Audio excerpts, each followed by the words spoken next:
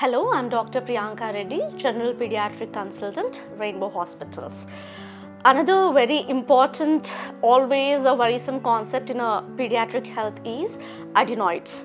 Adenoids are otherwise supposed to be very important policeman tissue of our body to understand them in layman terminology and very strategically their location and their growth enables a child to stay disease free as we understand one of the commonest biggest entry points into any human being is the nose and the mouth. Hence nature has strategically located adenoids on the posterior end of the nasal cavity and it grows and differentiates to enable the child growth and the exposure to these antigens and learning out of those antigens very uh, plant wise. Now, so what happens from birth to 6 months of the age as and when the child is breathing and uh, feeding, the adenoids get exposed to many outside elements and learn that those are the outsiders. We should develop some protective tissue inside the body to prevent any reaction, infection, etc. to them uh, throughout the life of the child.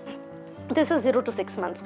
From 6 months to 2 years, based on what it has exposed, it develops two important structural functional sub areas called T and B cell areas. So it is just functionally aligning itself now 6 months to 2 years. So till here the structural difficulty because of the adenoid is not there. After 2 years, now based on the amount of what it has learned till 2 years, it understands to multiply in number, in shape, size to enable the en massing effect to prevent by the number concept rather than just by the function concept. Now, based on the amount of exposure the child had and will have throughout till 6 years of age and the epigenetic environment, nutritional environment, some genetic component of a child, adenoids growth at times may fall out of the line causing the structural difficulty which typically parents of the adenoid problematic children will complain us about the snoring, difficulty in breathing, difficulty in eating or more so during the season that, that poses extra difficulty rather than a seasonal illness. Hence, now a pediatrician who understands all these concepts well, when they see the x-ray of a child, they will differentiate the X-ray structure of adenoid into four, stage 1, stage 2, stage 3 and stage 4 growth. At stage 3 and stage 4 growth where typically the massing problem an adenoid could be causing, a, a, pediatrician will make a right decision about what to, when to handle it with a medical thing or when to go for removing it through surgically. Mostly that is around stage 4. After 6 years, the adenoid naturally decreases in its size because the rest of the lymphoid tissue of the body is growing to take care of the policeman function.